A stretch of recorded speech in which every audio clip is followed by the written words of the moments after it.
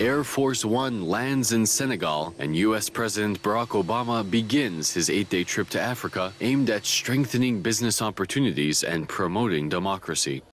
Um, Taoiseach, I think it's important to take this opportunity to bring a bit of balance into the discussions around the visit of the US President and his wife, given the almost unprecedented slobbering over them that the nation has been exposed to over the last number of days. And it's really hard to know which is worse, whether it's the outpourings of the Obamas themselves or the sycophantic fawning over them by sections of the media and the political establishment. We've had separate and special news bulletins by the state broadcaster to tell us what Michelle Obama and her daughters had for lunch in Dublin, but very little questioning of the fact that she was having lunch with Mr tax exile himself. Uh, we had very little challenging of the fact that she's glad to be home, home a country that she's been in less than a week and that her husband has very tenuous links in. And of course, the biggest irony of all, the protestations of Obama himself in his speech to the children in Northern Ireland about peace when he said, Those who choose a path of peace, I promise you that the United States of America will support you every step of the way. We will be the wind at your back.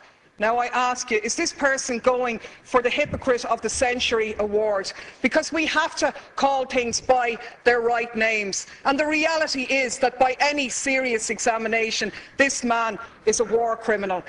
He has just announced his decision to supply arms to the Syrian opposition, including the jihadists, fueling the destabilisation of that region and continuing to undermine secularism and knock back conditions for women. This is the man who is, in essence, stalling the Geneva peace talks by trying to broker enhanced leverage for the Syrian opposition by giving them arms, and to hell with the thousands more who lose their lives or the tens of thousands more who will be displaced as this war goes on. This is the man who has facilitated a 200% increase in the use of drones, which have killed thousands of people, including hundreds of children. And you, Taoiseach, you are the one who's turned a blind eye on these activities. You've talked about the G8 being an opportunity to showcase Ireland. But is it not a reality that you have showcased us as a nation of pimps, prostituting ourselves in return for a pat on the head. To be honest with you, we were really speculating this morning whether you were going to deck the cabinet out in leprechaun hats decorated with a bit of stars and stripes to really mark abject humiliation here. So my question to you, Taoiseach, is as follows.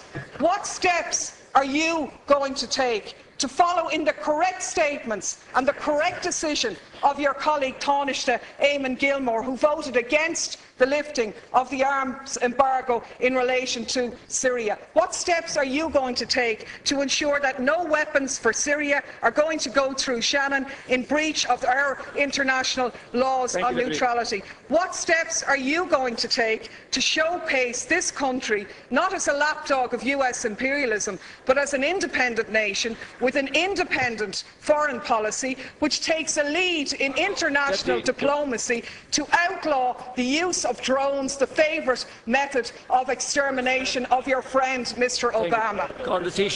Thanks, Ceann Comhairle. Of course, I said nothing about the Northern Ireland peace process, a process which everybody supports, but is not one that gives you a licence to do whatever you like anywhere else around the globe. Barely mentioned in the context of Obama's trip is also quietly returning to the continent. Back in February, Obama told Congress that the Pentagon had deployed drones and 100 troops to operate them to Niger so they could be flown over Mali and share information with France. There isn't much peace in Iraq, where 26 people lost their lives yesterday. There isn't much peace in Afghanistan. There isn't much peace in Pakistan. And there certainly isn't much peace in Syria.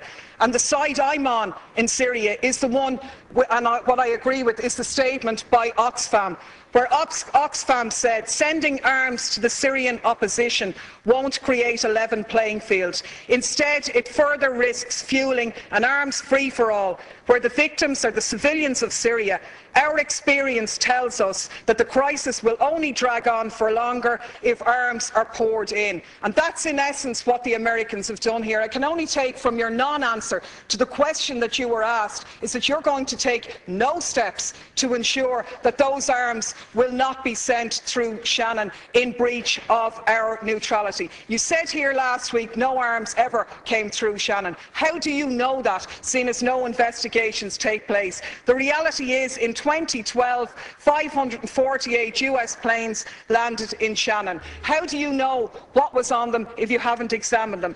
Your Minister for Transport revealed uh, in a parliamentary question that 239 civilian planes landed in Shannon, where they sought permission because they were carrying munitions of war or dangerous goods on a civilian aircraft. What steps are you going to take to intervene in this situation? And the last point I'll make is that People in this country are very fond of our American brothers and sisters, and I think we stand far more shoulder to shoulder with them by making valid criticisms of their president, who has broken his election promises, rather than just pimping this nation as a tax haven for their corporations. I'm sure the Americans would far prefer if their multinationals paid their taxes at home rather than offshore here so they could develop their health care, so they wouldn't be wasting money on arms being sent to slaughter slaughter people in other countries.